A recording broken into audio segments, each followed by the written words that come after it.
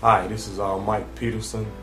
Um, just a few years ago, I had um, the LASIK surgery performed by Dr. Gulani in his office um, because I had a very, very high astigmatism.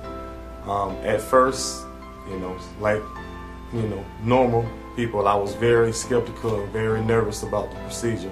But with the education of Dr. Gulani and him informing me of exactly what would go on, I felt very confident. Um, it has really helped me. Um, I have all the confidence in the world. I had all the confidence in the world with him. I actually brought my family. I brought my wife. She had it performed on her. Um, it has helped me with my everyday life as well as my life on the field, being a professional athlete.